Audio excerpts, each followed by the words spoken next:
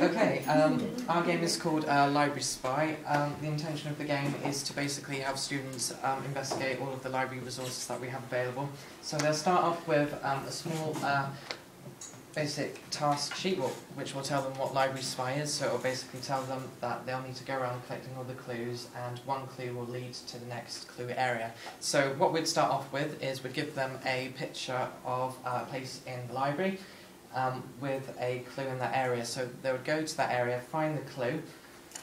I've called it clue one, and on the back of that clue, it will tell them basically where to go next. So in this instance, uh, the um, uh, the students will need to find a book, and they'll need to find it by using a library catalogue.